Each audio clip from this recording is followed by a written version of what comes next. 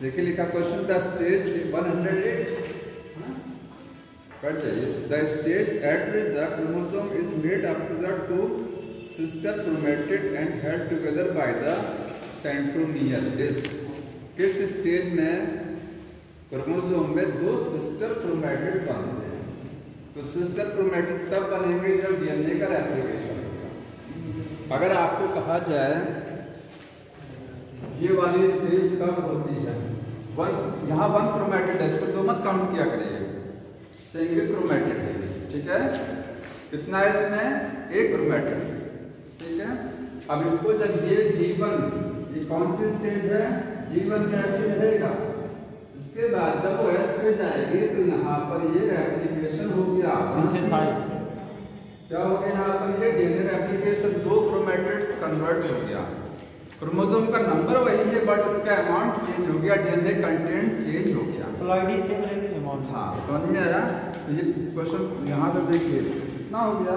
Whole the and held together by a centromere और centromere पर आपस में हेल्ड टुगेदर भी हैं। अब ऑप्शन देखते हैं।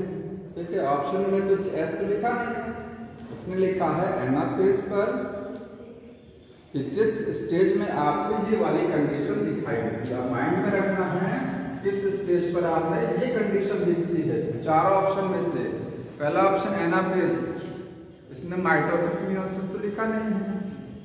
ठीक है? तो माइटोसिस मियोसिस नहीं लिखा है तो आप जनरल माइटोसिस ही मान सकते हैं। कुछ नहीं बोल रहा तो तो माइटोसिस में तो ये वाली स्टेज तो वन सी कंडीशन होती है? वन क्रोमेटेड होता है। पता है ना क्योंकि सेंट्रोमियर स्प्लिट करता है?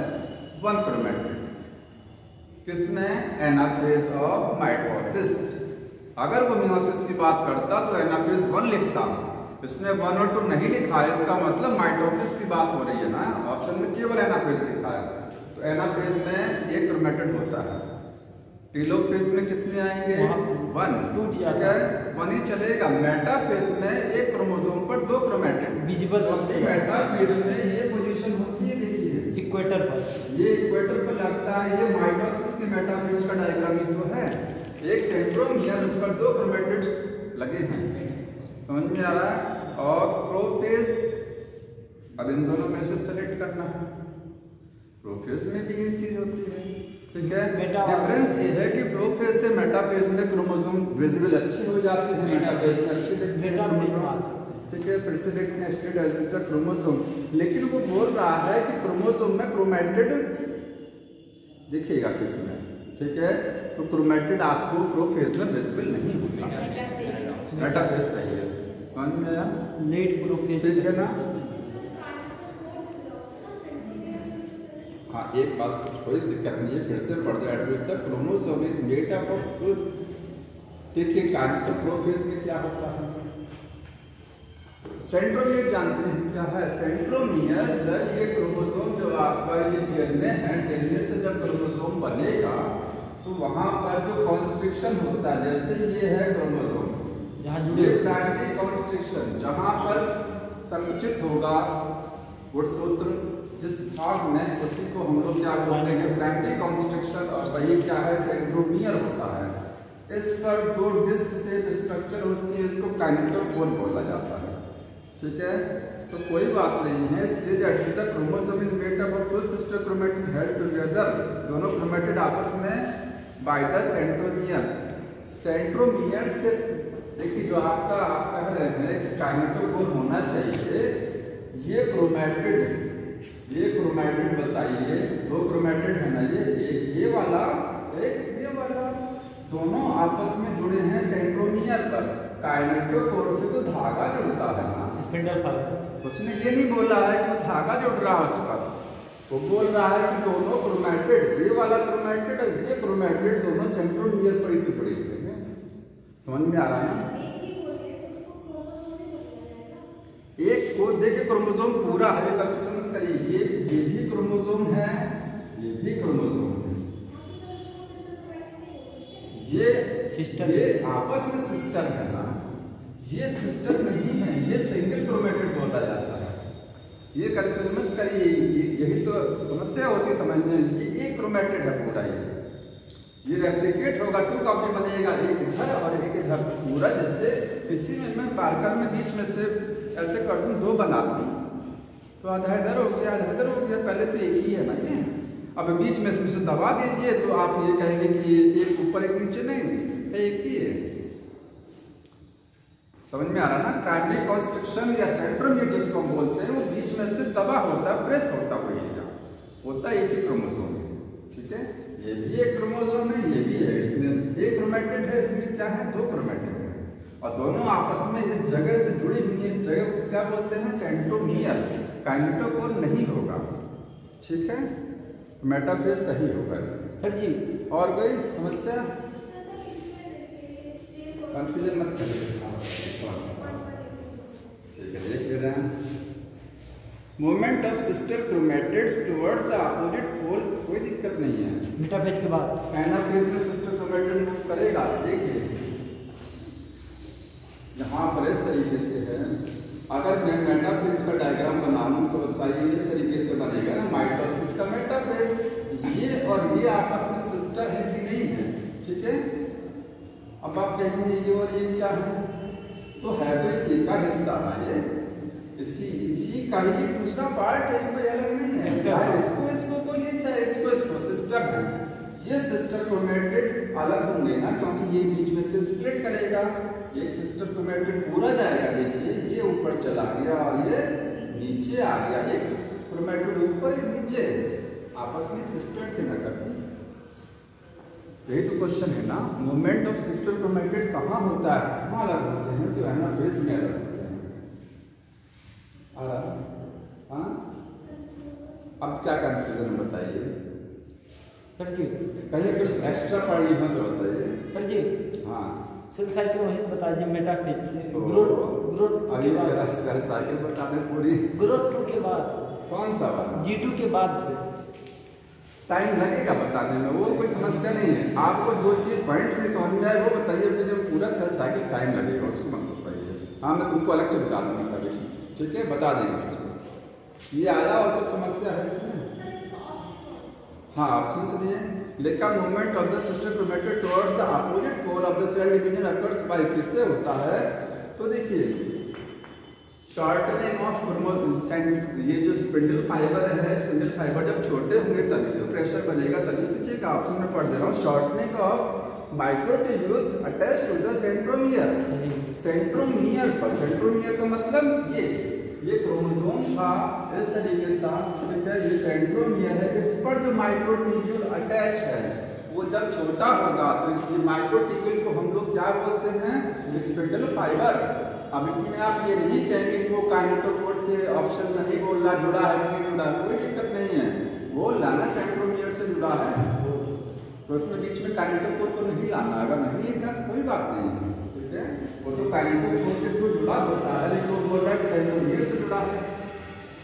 जब कोई ऑप्शन नहीं मिलेगा तो ही सही किया जाएगा सही भी है। दूसरा पढ़ते हैं shortening of microtubule attach to the इसने क्लियर कर दिया काइनेटोकोर से अटैच होता है। जो माइक्रोट्यूब्यूल ये माइक्रोट्यूब्यूल छोटे होते जाते हैं जो कहाँ अटैच हैं? काइनेटोकोर वास्तविक रूप से तो ये अटैच होता है ना। ये ज़्यादा सही है। तीसरा है shortening of microtubule attach to the metaphysic plate तो ये मेटाफिजिक प्लेट से अटैच नहीं है। मेटाफिजिक प्लेट क्या होती है? ये जो सेल होती है सेल में बीच में जो लाइन है ना ये इक्वेटर की लाइन इसी को तो मेटाफिजिक प्लेट बोलते हैं। यहाँ पर अटैच नहीं होता है। यहाँ पर नहीं अटैच होती है ना वो। काइनेटोकोर पर अटैच होते हैं ना और shortening of microtubule attach to the other homologous chromosome एक दूसरे होमोलोगस क्रोमोसोम के साथ अटैच ये भी नहीं है। ठीक पहला वाला सही है। पहला वाला सॉरी दूसरा वाला काइनेटोकोर इसमें ऑप्शन काइनेटोकोर जहाँ काइनेटोकोर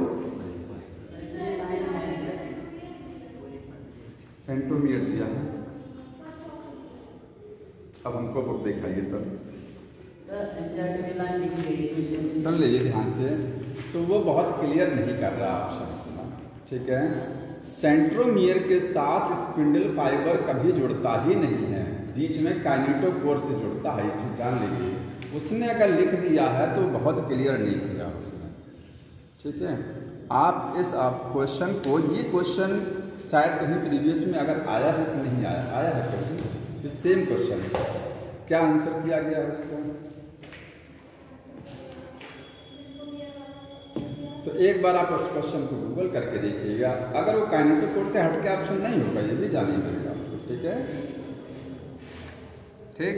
देख लीजिएगा, ऐसा नहीं होगा उसमें। ये लो पेपर पास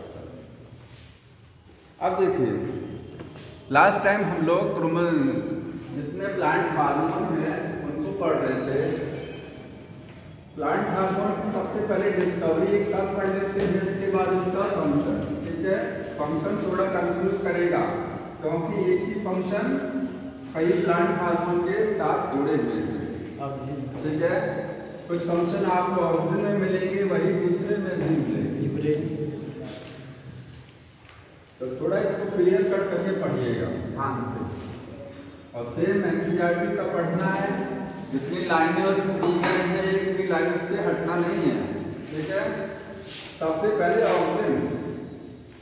मैंने आपको ऑक्सीजन के बारे में बता दिया था, ऑक्सीजन की डिस्कवरी कैसे हुई। मैं बोल रहा हूँ, आप उसमें अंडरलाइन कर लीजिएगा। ठीक है?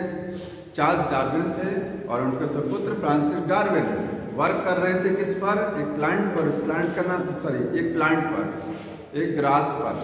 उस ग्रास का नाम क्या था? कैनली ग्रास उसके कॉलेप्टाइल पर काम कर रहे थे। कॉलेप्टाइल का मतलब शूट का जो प्रोटेक्टिव कवरिंग होता है, उसको कॉलेप्टाइल बोलते हैं। ठीक है? एक्सपेरिमेंट का नाम क्या था? फोटोट्रॉपिज्म ये मैंने लास्ट टाइम बता दिया था। ठीक है? सब बता दिया क्या था इसमें। और अगर कहा जाए ऑक्सीजन को सबसे पहले किसने डिस्कवर किया? एफ़ डब्ल्यू बेल्ट ने प्लांट से लेकिन सबसे पहले ऑक्सीजन डिस्कवर किया गया था। ह्यूमन यूरिन से जो आगे बढ़े। तो बाकी डिटेल आगे। पहले डिस्कवरी एक साथ देख लीजिए ठीक? दूसरा देखिए जिब्रेलिन का डिस्कवरी जिब्रेलिन की डिस्कवरी कैसे हुई? जापान में इसकी डिस्कवरी हुई थी। जापान में कुछ फार्मर्स फ़ील्ड में काम कर रहे थे खेतों में काम कर रहे थे। फ़ंक्शन भी खत्म करते चलते। अरे मैं जान रहा हूँ फ़ंक्शन खत्म करना चाहता था लेकिन जब फ़ंक्शन में एक साथ चलाऊँगा तो कंपेयर करते चलेंगे ठीक है? अब डिस्कवरी एक साथ खत्म कर देंगे। तो जापान में कुछ फार्मर्स, कुछ किसान काम कर रहे थे खेतों में। किसके खेतों में? धान के खेतों में। ठीक है? वहाँ उनको कुछ धान के पौधे ऐसे दिखाई दिए जो काफ़ी बड़े थे। बहुत बड़े थे। नॉर्मल से भी ज़्यादा बड़े बड़े पौधे थे खेत में दिख गए तो जब उसमें फिर एक साइंटिस्ट थे, क्रोसोवा। उन्होंने देखा कि ये लंबे पौधे क्यों हैं? तो टेस्ट किया तो बाद में पता लगा, वो चावल के जो बड़े बड़े पौधे थे, वो एक बीमारी से ग्रसित थे। उस बीमारी को क्या बोलते हैं? बकैने डिज़ीज़ ठीक है? तो जिब्रेलिन में क्या है? बकैने डिज़ीज़ थी डिज़ीज़ ये डिज़ीज़ कहाँ थी?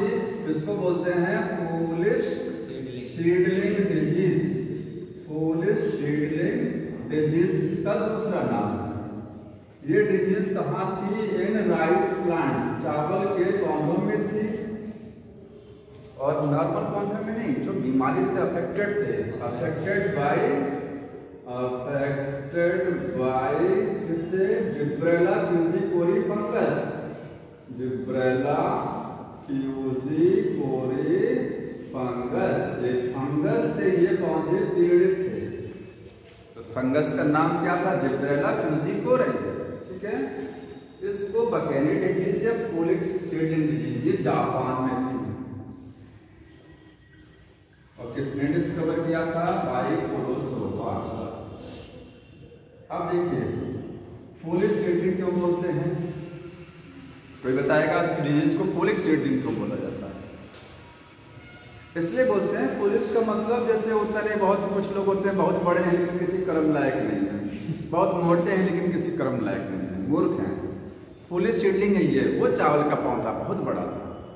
तो होना ये चाहिए था कि उस पर ज़्यादा फ्रूट आने चाहिए थे ज़्यादा बीज बनने चाहिए थे ठीक है ज़्यादा उसमें से प्रोडक्शन होना चाहिए था। जितना बड़ा पौधा उतना ही उत्पादन ज़्यादा होना चाहिए लेकिन उत्पादन नहीं हो रहा था।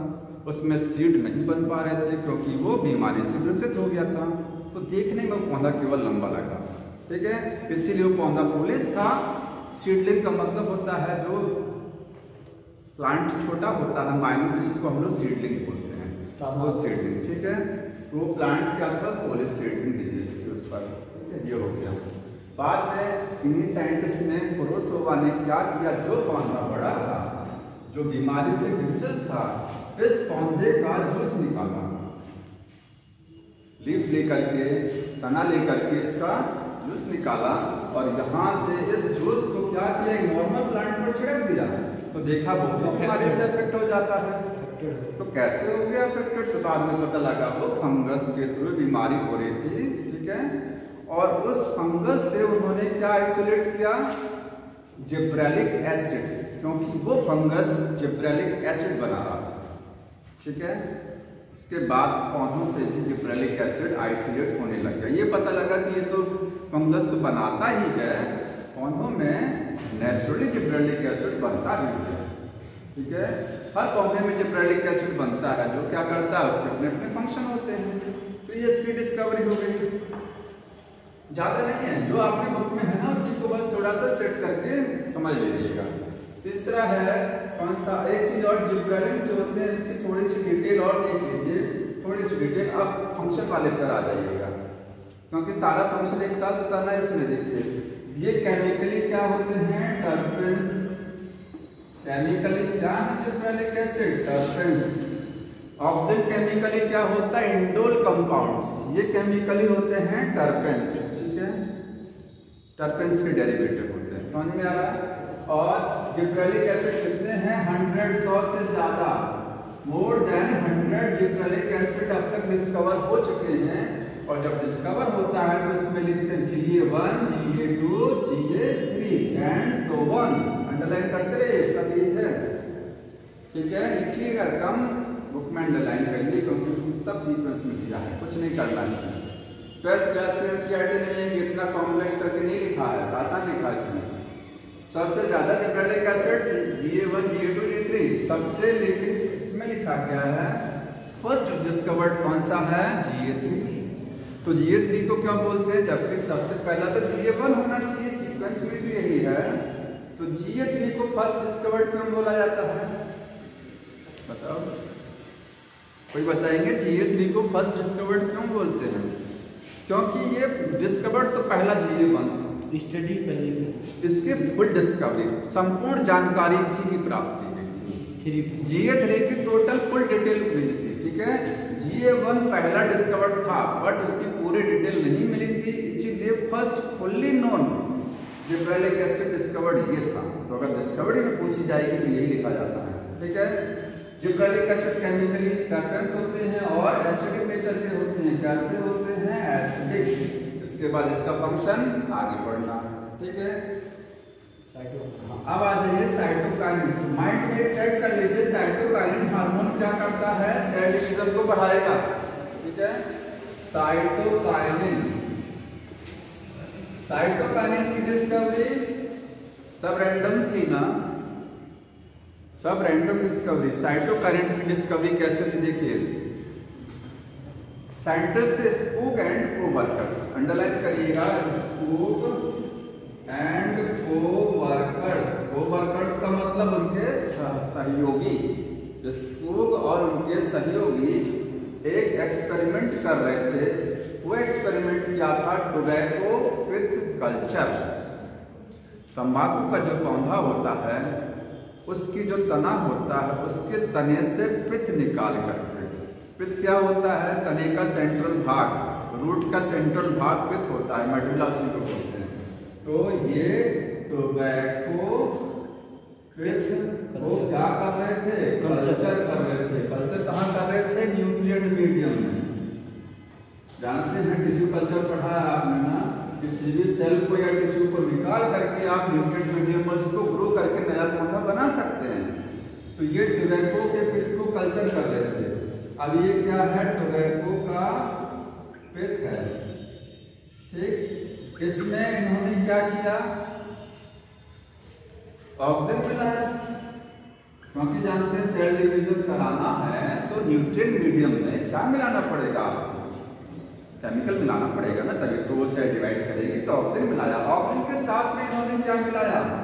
इन्होंने ऑक्सीजन के साथ में, अब देखिए, उसमें तीन चीज़ पहला क्या लिखा हुआ है? Extract of vascular extract of vascular इसको लाइन से जैसे मैं लिख रहा हूँ ऐसे लिखिएगा। ऑक्सीजन प्लस टोबैको विथ में उन्होंने ऑक्सीजन के साथ में जिसके पास वो क्या वो लिख सकता है ऐसे ही oxygen plus extract of vascular tissue साथ में दूसरा क्या था? डीएनए था। और ईस्ट एक्सट्रैक्ट यही है ना? हाँ कोकोनट कोकोनट मिल्क ठीक है? इतना ना? यही चार चीज़ें मिला ये सब क्या कर रहे हैं? सब सेल डिवीज़न को बढ़ाते हैं। हम लोग जानते हैं कोकोनट का मिल्क पीना चाहिए शरीर में वृद्धि होती है क्योंकि वो कोशिका विभाजन को प्रेरित करता है। ठीक है? इसका एक्सट्रैक्ट पे ये काम कर रहा है। डीएनए क्यों मिलाया? डीएनए क्या करेगा? डीएनए सेल डिवीज़न को बढ़ाएगा बढ़ाएगा। कैसे? क्योंकि डीएनए में हम जानते हैं adenine, guanine, thymine, cytosine purine होता है कि नहीं होता है? प्यूरिन और पायरिन चार, दो तरीके के बेस हैं। एडेनिन और ग्वानिन क्या होता है? प्यूरिन साइटोकाइनिन किससे बनता है? प्यूरिन से बनता है। डीएनए इसलिए मिलाया गया क्योंकि इसमें प्यूरिन है, वैसे प्यूरिन से साइटोकाइनिन बन जाएगा, ठीक है? इस साइटोकाइनिन को बनाएगा। कोकोनट मिल्क में साइटोकाइनिन होता ही है। वेस्कुलर टिश्यू में भी साइटोकाइनिन देखने को मिलेगा। ये चारों चीज़ें मिलाई गई थी ऑक्सीजन के साथ में जिसकी वजह से सर्कुलेशन बहुत बढ़ जाता है उसमें। तो बताइए ये क्यों मिलाया गया? वेस्कुलर टिश्यू का एक्सट्रैक्ट साइज़ बढ़ाने के लिए। हाँ। वेस्कुलर टिश्यू का मतलब जाइलम और फ्लोएम होता है ना। तो क्या जाइलम और फ्लोएम में भी साइटोकाइनिन देखने को मिलता है? प्लांट की बॉडी में जो फ्लोयम है, जो फ्लोयम है, उस फ्लोएम के थ्रू प्लांट हार्मोन का ट्रांसपोर्ट होता है। पौधे में जो हार्मोन टिप पर ऑक्सीजन बन रहा है, बनने के बाद नीचे कैसे जाएगा? फ्लोयम से जाएगा। ठीक है हार्मोन का ट्रांसपोर्ट प्लांट की बॉडी में किससे होता? है फ्लोएम वेस्कुलर टिश्यू में जाइलम और फ्लोएम दोनों आते हैं। तो अगर किसी भी पौधे का फ्लोयम लेकर के फ्लोएम का एक्सट्रैक्ट एक्सट्रैक्ट का मतलब उसका जूस इसमें मिला दिया तो उसमें क्या होगा? उसमें साइटोकाइनिन रहा होगा ना, क्योंकि वो साइटोकाइनिन को ट्रांसपोर्ट कर रहा है। ठीक? यहाँ लिखेंगे ये क्या है? सोर्स ऑफ़ साइटोकाइनिन है सब ये सब के सब क्या है? ना पूरे लिखिएगा। ये सब क्या है? हाँ सोर्स ऑफ़ साइटोकाइनिन यहाँ वेस्कुलर टिश्यू में आप फ्लोएम लिखिएगा, क्योंकि फ्लोएम क्या करता है? ट्रांसपोर्ट हार्मोन जितने हार्मोन है, सबको ट्रांसपोर्ट कराएगा तो साइटोकाइनिन को भी कराएगा। फिर मिलाने से क्या होता है? कैलस डिफरेंशिएट कर जाता है। कैलस में क्या हो जाता है? डिफरेंशिएशन बताइए, इस डिफरेंशिएशन का मतलब क्या है? अगर ये नहीं मिलाते तो कोई डिफरेंशिएशन नहीं होता मिलाने पर कैलस डिफरेंशिएट कर गया इसका मतलब अब इसका सीड मतलब डिफरेंस कैलस डिफरेंस का मतलब बताओ नहीं तुमको पता होगा। हाँ नहीं डिफरेंस हाँ अलग हो जाना। कैलस में रूट स्टेम लीफ का फॉर्मेशन होना कैलस क्या? Undifferentiated mass of the cells called callus ठीक है? जैसे मान लीजिए ये सेल है अगर इस सेल से बोलेंगे डिवीज़न करा दो सेल डिवाइड करेंगे करेंगे। ये ग्रुप ऑफ़ द सेल बनेंगे। आगे इसमें रूट स्टेम लीफ नहीं बना हुआ है। प्लांट में जब आप टिश्यू कल्चर कराते हैं तो एक सेल को निकालते हैं न्यूट्रन मीडियम में ग्रो कराया, वो सेल डिवाइड करके बहुत सारी सेल बना देती है। जब तक उसमें रूट स्टेम लीफ नहीं बनी है, सारी सेल एक जैसी हैं, सबको कैलस बोलेंगे कैलस में डिफ्रेंशिएशन होगा, इसका मतलब उसमें रूट स्टेम और लीफ बनना चालू हो गया। तो डिफरेंशिएशन तब होगा जब ऑक्सीजन के साथ साइटोकाइनिन भी रहेगा तो तो मिलाने का मकसद यही था। ठीक है? तो उन्होंने देखा कि ऑक्सीजन के साथ अगर ये सब मिला दिया जाए, या इसमें से कुछ भी मिला दिया जाए तो कैलस डिफरेंशिएट कर जाता है। तो सोचे कि ऐसा क्यों होने लग गया? तो बाद में देखा गया होगा कि उसमें साइटोकाइनिन था। ठीक है? आगे एक चीज़ देखा गया है साइटोकाइनिन के बारे में कि नेचुरली साइटोकाइनिन को कहाँ से निकाला जाता है? हाँ साइटोकाइनिन को निकालने के लिए साइटोकाइनिन साइटोकाइनिन के नाम से नहीं मिलता है। जिएटिन के नाम से मिलता है, ठीक है? जिएटिन, और एक काइनेटिन होता है। समझ में आया? तो नेचुरल साइटोकाइनिन जो एनिमल से निकालते हैं, हम लोग कहाँ से निकालते हैं? एनिमल से निकालते हैं, वो है काइनेटिन काइनेटिन। अगर कहा जाए natural cytokinin that obtain from the animals उसका नाम क्या है? तो काइनेटिन है। जिएटिन नहीं जिएटिन प्लांट से मिलता है। एनिमल्स में भी साइटोकाइनिन क्योंकि वहाँ पर डीएनए है ना। तो किस एनिमल से निकालते हैं? हैरिंग फ़िश के स्पर्म के डीएनए से। ठीक है? कहाँ से निकाला गया था? यहाँ लिखेंगे किस एनिमल से? फ्रॉम हैरिंग एक मछली होती है, उस मछली का नाम क्या है? हैरिंग उसका जो स्पर्म है, उसके स्पर्म के डीएनए में स्पर्म में डीएनए होगा कि नहीं होगा? स्पर्म है तो इसमें न्यूक्लियस होगा डीएनए भी होगा, उसके डीएनए से निकाला गया काइनेटिन। जो कि क्या था वो साइटोकाइनिन था। साइटोकाइनिन के नाम है, काइनेटिन हो गया, एक होता है टाइप्स का और नेचुरली साइटोकाइनिन जो प्लांट से निकाला जाता है, उसका नाम क्या है? वो जिएटिन है। ठीक है, ये कहाँ से निकालते हैं जिएटिन इस प्लांट से आप जिएटिन का मतलब जीमेज मक्का, मेज। लिखा गया बुक में मेज कर्नेल हम बताइए वो कर्नेल क्या है? और कोकोनट मिल्क। कोकोनट मिल्क में जो साइटोकाइनिन होता है उसका नाम है जिएटिन और मेज का जो कर्नेल होता है कर्नेल क्या है? मेज कर्नेल क्या होता है? सर हमने ये कॉल कर हाँ? कॉल कर बीज कॉर्न? हाँ तो पॉपकॉर्न क्या है? पॉपकॉर्न वही तो है ना मेज जो है।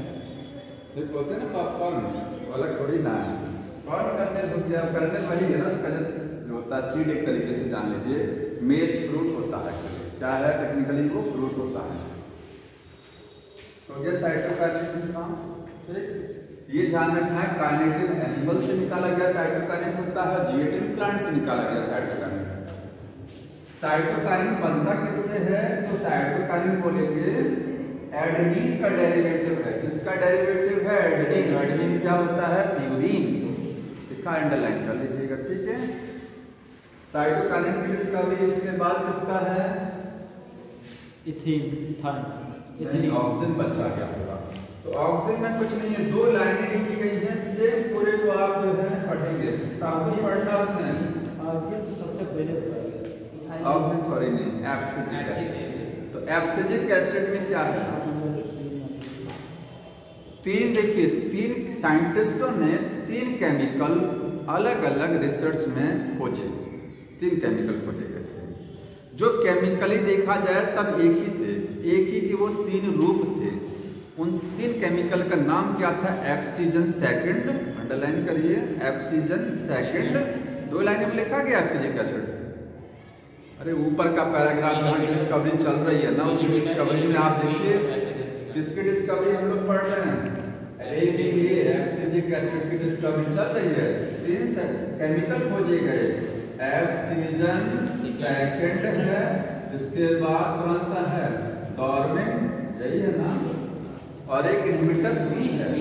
इनहिबिटर बी ये तीन केमिकल साइंटिस्टों ने अलग अलग डिस्कवरी में खोजे। रिसर्च किया तीन केमिकल खोज के लेके आए, बाद में पता लगा सबके सब तो एक ही काम कर रहे हैं। क्या कर सबके सब एप्सिजिक एसिड केमिकली देखा जाए सब एप्सिजिक एसिड के रूप। खत्म हो गया इसका डिस्कवरी इसके बाद में इथिलीन का डिस्कवरी क्या है? तो इथिलीन को किसने खोजा था? एक नाम दिया ना? कजिन कजिन ठीक है? तो वो कजिन नहीं है कजिन साइंटिस्ट का नाम ही है। वो कजिन होता एक वो रिलेशन ये साइंटिस्ट का नाम कजिन है। कजिन ने क्या किया? किसको? एप्पल है ना? एप्पल के साथ में बनाना को रखा। क्या लिखा? देख लीजिएगा। ऑरेंज के साथ सॉरी राइपेंड ऑरेंज पके हुए संतरों के साथ में बनाना को रखा। बनाना ना? बनाना, कच्चे बनानों को रख दिया तो देखा कुछ दिन बाद वो बनाना भी पक जाता है। होता भी है, किसी पके फल के साथ कच्चे फल को रख दीजिए तो पक जाएगा। ऐसा क्यों होता है? क्योंकि उस राइपेंड फ्रूट से वोलेटाइल सब्सटेंस रिलीज़ होता हवा में। ठीक है? और वो क्या है? गैस होती है। कौन सी गैस है? इथिलीन। और वो गैस जाती है जब किसमें? अनराइप कच्चे फल में जाती है तो उसको भी पका सही से सिस्टम था तो ऐसे डिस्कवरी हो गई किसकी? लिए अब एक एक करके हम लोग सबका फ़ंक्शन पढ़ोगे तो फ़ंक्शन के लिए देखिए थोड़ा बहुत कंफ्यूज करेगा फ़ंक्शन हम आपको एक वीडियो भेज देंगे ग्रुप में। तो वैसे उसी को हम भी बताएँगे कुछ अलग नहीं है उसमें ठीक है? हाँ तो उसको आप जो थोड़ा सा कई बार देखेंगे तो सब लोग टिप्स बताते हैं ना। तो, तो अपने डिस्कवर कर लो कोई नहीं तो किसी का कॉपी कर लीजिए ठीक? तो उसमें आप थोड़ा सा स्टोरी बना करके इसका फ़ंक्शन करेंगे ऑक्सीजन पहले तो ये पता होना चाहिए कि ऑक्सीजन का मेन काम क्या होता है। ऑक्सीजन क्या है? इधर देखिए ऑक्सीजन एक हाइट बढ़ाने वाला हार्मोन जिब्रेलिन क्या है? हाइट बढ़ाने वाला हार्मोन। साइटोकाइनिन सेल डिवीज़न को बढ़ाने वाला हार्मोन। एब्सिलिक एसिड टेंशन को हटाने वाला हार्मोन। इथिलीन रूट को पकाने वाला हार्मोन। ये तो मेन काम है। इसके अलावा साइड में सबके अपने अपने बहुत सारे काम तो वो थोड़ा सा रटने हैं, समझ के रटना है स्टोरी की फॉर्म में ठीक है? ऑक्सीजन जो होता है केमिकली ऑक्सीजन जो होते हैं, देखा जाए तो क्या है? ये इंडोर कंपाउंड है। क्या है? ये बताया मैंने इंडोर कंपाउंड होते हैं। ठीक है? ऑक्सीजन की सिंथेसिस कहाँ होती है? नोट करते रहिएगा सिंथेसिस कहाँ होगी ऑक्सीजन की? तो रूट के टिप में बनेगा। रूट टिप और स्टेम की टिप पे। और कहीं नहीं बनेगा रूट या स्टेम के टिप पर ऑक्सीजन बनता है। ठीक है? इसके बाद में ऑक्सीजन के कितने टाइप का है? तो ऑक्सीजन के दो टाइप है। एक तो नेचुरल ऑक्सीजन होता है नेचुरल और एक क्या होता है? आर्टिफिशियल ऑक्सीजन होता है। नेचुरल वो वाला है जो पौधों से मिलेगा? और आर्टिफिशियल केमिकली लैब में बनाया जाएगा। ठीक है इंडस्ट्री में बनाते हैं।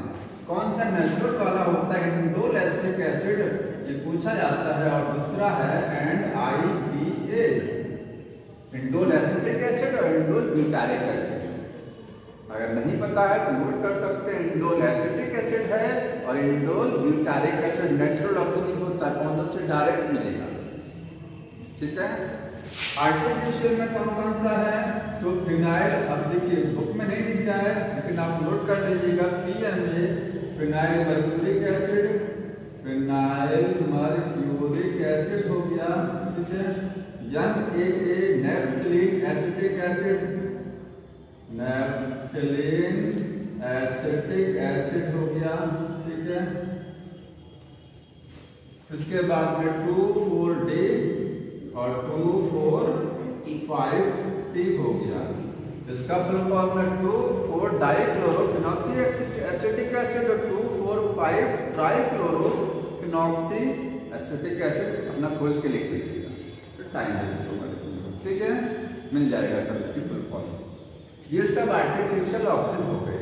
ये दो ऑक्सीजन जो आपके टू फोर डी है, टू फोर फाइव डी है, इनका जो मिक्सचर होता है, इसका जो मिक्सचर है, उसके मिक्सचर को एजेंट ऑरेंज बोलते हैं।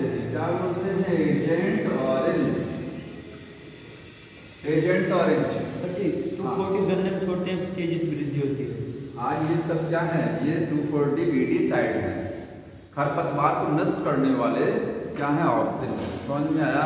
इनके मिक्सचर अगर आप बना देंगे तो एजेंट ऑरेंज क्या काम होता है? अभी बता रहे हैं ठीक है? अब फ़ंक्शन पर आ जाइए। ऑक्सीजन का फ़ंक्शन एक साथ एक जगह आप फ़ंक्शन नोट कर लेंगे, नहीं बोलेंगे। कैसे ध्यान रखना है आप? मान लीजिए आप खुद ऑक्सीजन है। ठीक है? आप एक जो है, आपको एक मैंने स्टेम का कटिंग दे दिया है। क्या चीज़ दे दिया है? गुलाब रोज का कटिंग, इसको लगा दीजिए सॉइल में ले जा करके किसी पौधे का स्टेम का कटिंग दिया है। ठीक तो उसको ध्यान रखिएगा। तो फ़ंक्शन में मैंने आपको क्या किया? एक स्टेम का कटिंग दे दिया तो आप स्टेम की कटिंग लगा देंगे। तो क्या होगा सबसे पहले? यहाँ से रूट का निकलना चालू हो जाएगा। तो पहला function initiation of the root in the stem cutting ठीक है? फ़र्स्ट फ़ंक्शन लिखिएगा इनिशिएशन ऑफ़ रूट्स रूट्स का इनिशिएशन हो जाएगा। इसमें स्टेम कटिंग मतलब जो जब स्टेम की कटिंग लगाते हैं ना सर में जैसे रोज की कटिंग लगानी है तो अगर ऑब्जेक्ट को स्प्रे कर दो तो बढ़िया से जल्दी से उसमें जड़ें निकल जाती हैं। नहीं तो निकलेगा लेकिन टाइम लगेगा तो इनिशिएशन का मतलब शुरुआत कराता है, रूट का किसमें स्टेम कटिंग में। ये अंदर नेचुरली क्योंकि रूट स्टेम में क्या है? नेचुरली हो रहा है। दूसरा फ़ंक्शन क्या हुआ इसका? अब इसका फ्लावर भी आएँगे आएँगे फ्लावर आएँगे ठीक है। लीफ बनेगा फ्रूट बनेगा सब कुछ। तो दूसरा function initiate the flowering in the pineapple pineapple ध्यान रखना। है पाइनएप्पल ध्यान रखना। ठीक है कल पाइनएप्पल में। तो प्रमोट प्रमोट करता है प्रमोट फ्लावरिंग फ्लावरिंग को प्रमोट करेगा किसमें? पाइनएप्पल में। ठीक है हो गया। अब आपने बगीचे में, आप ऑप्शन आपने बगीचे में ले जाकर के एक पौधा लगा दिया और पौधा क्या कर रहा? है तुरंत रूट स्टार्ट कर दिया बनाना। तो पहला फ़ंक्शन ये हो गया फ्लावर बनाने लग गया। दूसरा फ़ंक्शन तीसरा फ़ंक्शन क्या होगा? जब इसमें जो लीफ आएगा, हालाँकि लीफ तो पहले आते हैं, तब फ्लावर बनता है। तो जो लीफ आएँगी और जो फ्रूट बनेगा इसमें तो वो पौधा नहीं चाहेगा कि वो जल्दी ही गिर जाए। अर्ली कंडीशन में वो गिर जाए, कोई पौधा नहीं चाहता है, ठीक है? तीसरा होगा prevent the falling of the fruit and leaf in the early condition premature condition में। ठीक है, यंग कंडीशन में ही फ्रूट से ना गिर जाए फ्रूट गिरता है, पत्ती गिरती है मिच्योर होने पे गिरे तो ज़्यादा सही है। आदमी बुढ़ा मर जाए तो ज़्यादा अच्छा हो जवानी कंडीशन में ना मर जाए। वही बताना।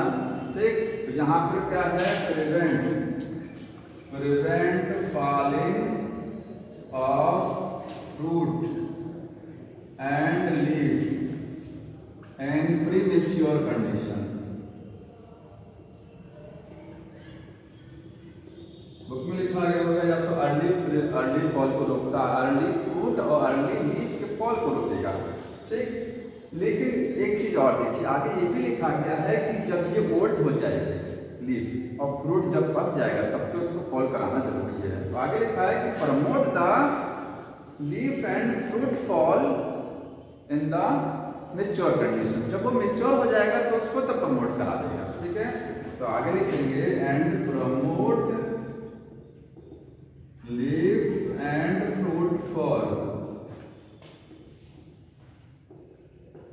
in old condition जब वो ओल्ड हो जाएगा तो उसको फॉल कराना ही ज़रूरी है। समझ में आया? हमने एक पौधा लगाया, कहाँ पर? सॉइल में, उसमें तुरंत रूट की इनिशिएशन करा दिया। फ्लावर प्रमोट करा दिए पाइनएप्पल ध्यान रखना है। ठीक है, इसके बाद फिर क्या हो गया इसमें? हम नहीं चाहेंगे कि वो पौधा नहीं चाहेगा कि उसमें से जल्दी लीफ और फ्रूट गिर जाए तो प्रिवेंट तीसरा फ़ंक्शन ठीक, इसके बाद चौथा फ़ंक्शन क्या हुआ? अब हम इसमें ये नहीं चाहेंगे कि यहाँ पर क्या हो। एक चीज़ और। हम ये नहीं चाहेंगे कि उस गार्डन में कोई अनवांटेड पौधा भी ग्रो कर जाए। चाहेंगे नहीं चाहेंगे ना। उस गार्डन में कोई अनवांटेड पौधा भी आ जाए तो ये क्या करता है जो खरपतवार बीड्स ना ग्रो कर जाए जो उनको नाश करता है। तो अगला फ़ंक्शन ये है कि ऑक्सीजन हटा देता है किसको? खरपतवार। ठीक है वीडिसाइड है। वीडिसाइड का मतलब बीड्स को मारने वाला केमिकल है। ठीक? तो अगला लिखेंगे kill the kill weeds weeds को हटाता है। है? यूज्ड एज वीडिसाइड वीडिसाइड का मतलब खरपतवार को मारने वाला केमिकल होता है वीडिसाइड इसके फॉर्म में इसको यूज़ किया जाता है। ठीक? ये क्या करता है? किल डाइकॉट प्लांट ये डाइकॉट प्लांट को केवल मारेगा and not affect not affect monocot monocot plant को अफेक्ट नहीं करता है ऑक्सीजन केवल डाइकॉट बीट्स को ही मारता है। किसको मारेगा? डाइकॉट हाँ? और इसका रीजन ऐसा है इतना ही कम है। ठीक है नहीं करता। है उसको कोई विशेष रीजन जानकारी में नहीं है इसलिए तो होगा तो बता दिया समझ में आया? तो मोनोकोट को फिट नहीं करता है केवल डाइकोट को फिट करता है। यहाँ तक हो गया। अगला फाइव फ़ंक्शन अब इसको रट लीजिएगा चाहे जैसे promote the formation of the seedless fruit for example in tomato parthenocarpy समझते हैं। ऐसा फ्रूट बनाना जिसमें बीज ही ना हो। तो इसको क्या बोलते हैं? पार्थिनोकार्पी तो ये इंड्यूस करता है पार्थिनो कार्पी को फॉर एग्जांपल इन टोमेटो में ठीक है? तो लास्ट लिखेंगे। Induce parthenocarpy and tomato tomato में पार्थिनोकार्पी पार्थिनोकार्पी का मतलब सीडलेस फ्रूट का फॉर्मेशन करना। ठीक है? अगला सिक्स नंबर होता है। अब आपने यहाँ पर क्या है? एक ऐसा पौधा बना दिया बढ़िया फ़र्स्ट क्लास टोमेटो का, जिसमें क्या है? सीड नहीं आ रहे उस गार्डन में पौधा भी लगा दिया गया है, जिसमें क्या है? सीड बिना सीड वाला आ रहा है टोमेटो ठीक है? तो अच्छी चीज़ है ना? अब इतना सब करने के बाद में आप इसमें ये नहीं चाहेंगे कि इसमें कोई अनवांटेड आ जाए बाहर से कोई पौधा ग्रो कर जाए, उसको भी हटाने का प्रयास कर लिया। अब उस पूरे में बाहर से कोई भी अननोन बाहर से कोई भी चीज़ एंट्री ना करे, इसके लिए क्या करेंगे, सबको मतलब दूर करेंगे, ठीक है? अनवांटेड चीज़ों की एंट्री को यहाँ रोकेंगे, तभी तो उस गार्डन में क्या रहेगा, सब कुछ ठीक रहेगा। तो एक लास्ट का फ़ंक्शन चाहे आप रख लीजिएगा, लिखा है कि promote differentiation differentiation in xylem xylem में डिफरेंशिएशन को प्रमोट कराता है। और डिफ्रेंसिएशन क्या होता है? जाइलम में चार तरीके की सेल होती हैं। अगर ऑक्सीजन ना रहे तो चार सेल नहीं बनेगा। डिफ्रेंसिएशन यही होता है। जाइलम में चार सेल का बनाना। ठीक है? एंड सेल डिवीज़न तो एक चीज़ जानिए ध्यान से सेल डिवीज़न के लिए मेन हार्मोन रिस्पॉन्सिबल साइटोकाइनिन होता है, लेकिन ऑक्सीजन भी सेल डिवीज़न कराता है तो इसको थोड़ा सा ध्यान रखना है कि ऑक्सीजन भी कराता है। ठीक? ये हो गया मेन चीज़ छूट गई। मेन क्या है? ऑक्सीजन हाइट को बढ़ाता है तो यहाँ अभी तक बताया नहीं। तो उसको मेन वाले को सात नंबर पे लिखिए कि ऑक्सीजन क्या करता है? Increase height height of plant plant की हाइट को बढ़ाता है तो क्योंकि ऑक्सीजन कहाँ होता है? स्टेम के टिप पर और रूट के टिप पर। तो रूट की लंबाई को बढ़ाएगा और स्टेम के लंबाई को बढ़ाएगा। अगर हम टिप को हटा देते हैं तो देखते होंगे कि साइड से ब्रांचेस निकलने लग जाती हैं। कोई पौधा अगर एकदम सीधे जा रहा ऊपर तो उसमें किनारे से उसकी जो साइड ब्रांच होती है, उनकी ग्रोथ रुकी रहती है। जैसे पौधे की टिप काटेंगे तो पौधा घना हो जाता है, क्योंकि नीचे से ब्रांचेस निकलने लग जाती हैं। तो ऑक्सीजन क्या करता है? एपिक्स को डोमिनेंट रखता है। इसको बोलते हैं एपिकल डोमिनेंस अगर ऑक्सीजन टिप काटेंगे, टिप को हटाएँगे, तभी साइड ब्रांच की ग्रोथ बढ़ेगा। टिप, जब तक है, तब तक वो साइड ब्रांच की ग्रोथ क्या है? सप्रेस दबा हुआ है। तो ऑक्सीजन एपिकल डोमिनेंस को प्रमोट कराता है और इनहिबिट कराता है growth of the side branches ठीक है? तो हाइट को बढ़ाएगा अगला है promote apical dominance apical dominance को बढ़ाएगा एंड इनहिबिट करेगा ग्रोथ ऑफ़ साइड ब्रांचेस जो साइड या लेटरल ब्रांचेस होती हैं, उनकी ग्रोथ को क्या करेगा? रोके रखेगा। समझ में आ रहा है? इसका फ़ायदा कहीं मिलता है हमको। अगर किसी भी प्लांट का स्टेम ऊपर से काट दिया जाए तो साइड ब्रांच तुरंत ग्रो करने लग जाएगा तेज़ी से। तो इसका फ़ायदा कहाँ लेते हैं? तो उस पैराग्राफ में लास्ट की लाइन पढ़ लीजिएगा। कि टी प्लांटेशन चाय के जो बागान होते हैं चाय की जो खेती की जाती हैं उसमें हमको मकसद क्या होता है? चाय की पत्तियों से लेना देना सर्कलम ठीक है तो हम चाहते हैं कि चाय की पत्तियाँ ज़्यादा आ जाए तो जब उनकी टिप काटते रखेंगे काटेंगे काटेंगे तो साइड ब्रांच ज़्यादा निकलेगा। फिर उसकी टिप काट दीजिए फिर नीचे से ब्रांच फिर टिप काट दिए फिर नीचे से ब्रांच जितना ब्रांच उतनी लीफ भी तो बनेगी। टी प्लांटेशन जो होता है चाय की जो बागानी होती है उसमें यही काम करते हैं। अब को कटाते रहते हैं। और अगला है हैज़ मेकिंग हैज़ मेकिंग क्या होता है? देखा नहीं वर्ड हैज़ मेकिंग देखिए। और उसका रोल है इसका ऑक्सीजन का हैज़ मेकिंग है। हैज़ मेकिंग होता है ना कि कभी स्कूल कॉलेजों में देखते होंगे कि जैसे बढ़िया फ़र्स्ट क्लास वे में कटिंग कर दी जाती झाड़ियों की जैसे लगता है वो बाउंड्री चल रही है दीवार बन गया। होता है ना?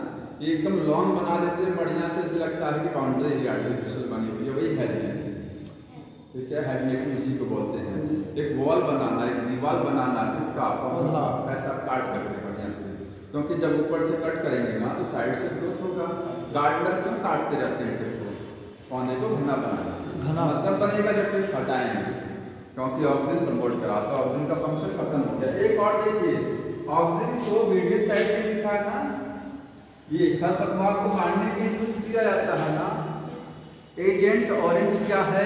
मिक्सचर है। टू फोर डी और two four five T book में लिखा गया टू फोर डी एक क्या है? वीडी साइड है।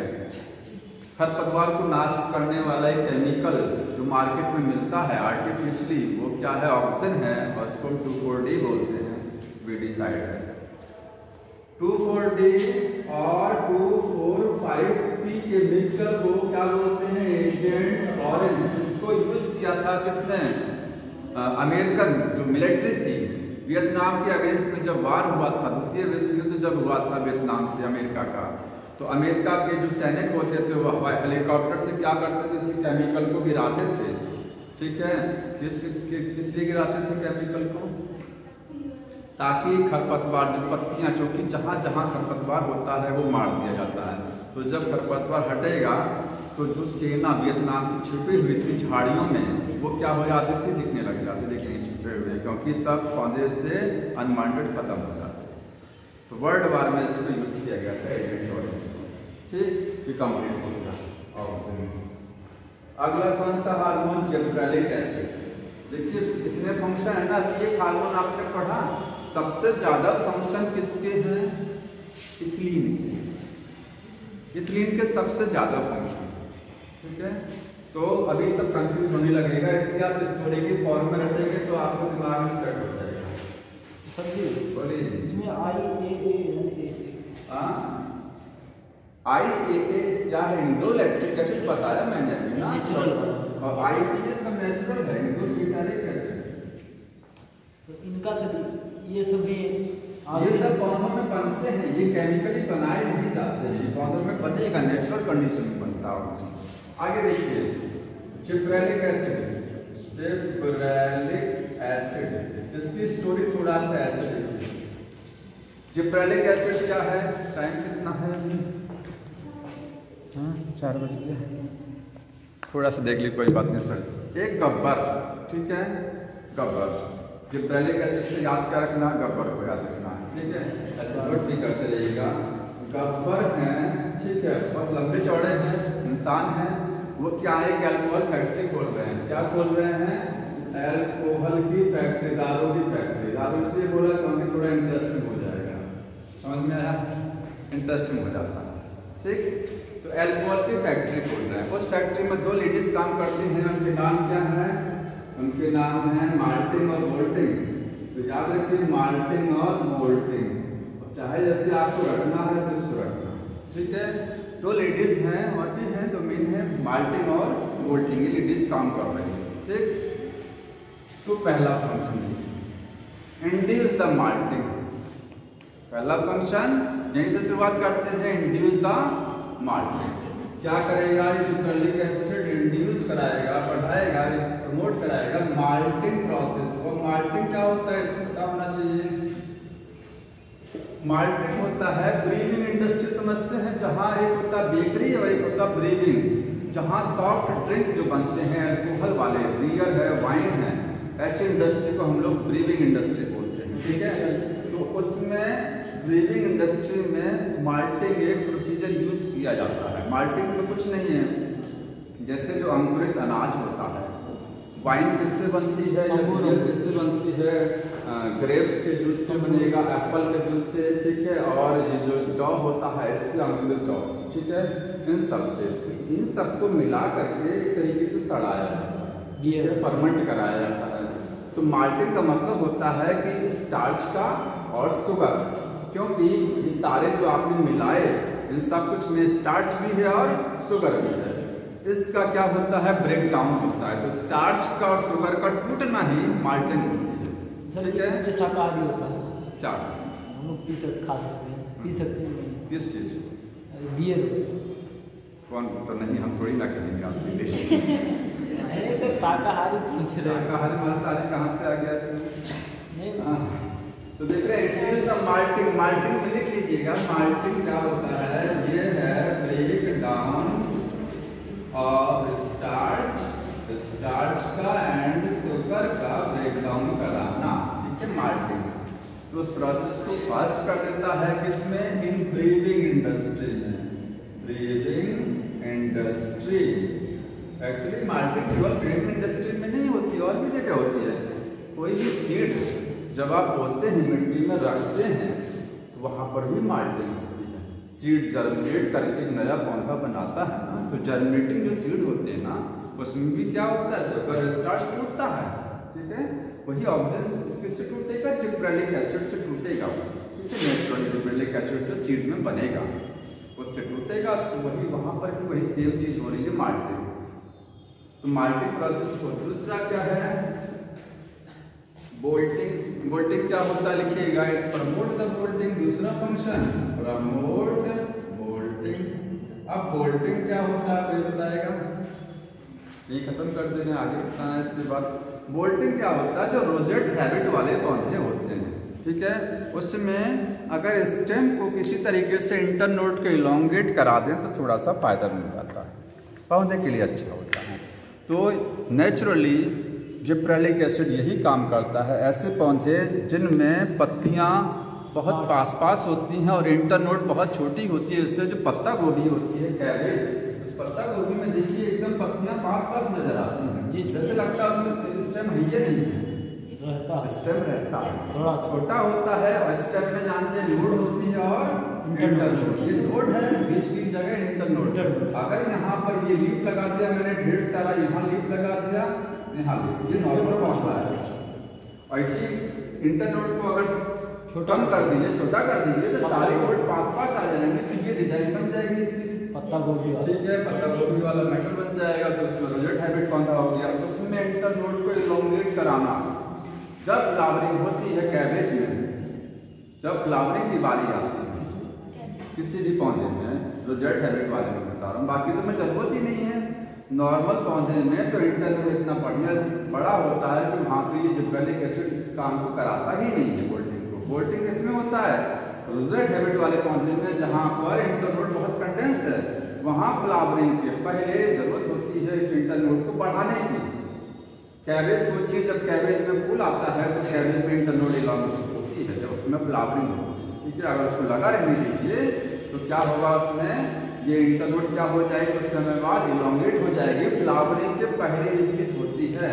तो इसको कौन कराता है?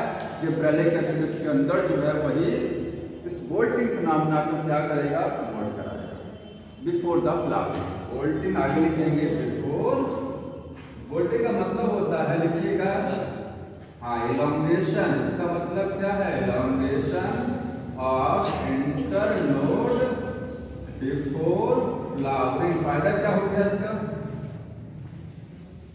ज़्यादा फूल बनेंगे, ज़्यादा सीड भी तो बनेंगे ना? ठीक है? ज़्यादा फ्लावर क्योंकि फ्लावर को बनाने के लिए जगह तो चाहिए। आपने जगह तो खत्म कर दिया। जब पत्तियाँ पास पास हो जाती हैं तो साइड ब्रांच को निकलने के लिए जगह कहाँ पड़ेगी? तो जब ये इंटरनोड इलोंगेट हो जाएगा तो जगह मिल जाएगी। तो यहाँ से जो फूल बनेगा, वो अच्छा खासा फूल बनेगा। नहीं तो सारी पत्तियाँ जब पास पास है तो फूल कैसे बनेगा? कहाँ से निकलेगा फ्लावर ठीक है? ज़्यादा फूल बनेंगे तो ज़्यादा सीड बनेंगे। मोर सीड फॉर्मेशन के लिए बोल्टिंग कराई जाती है। बोल्टिंग। क्या कह रहे हैं? बोल्टिंग मोर सीड प्रोडक्शन हाँ। ठीक है। हाँ। बिल्कुल।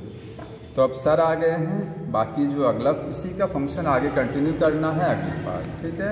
और ये नेक्स्ट ये चैप्टर फिनिश हो जाएगा क्वेश्चन भी करते रहिए इसके। जितने क्वेश्चन हैं क्वेश्चन थोड़ा सा बताएँगे और बाकी फिनिश कर देंगे इसको। ठीक।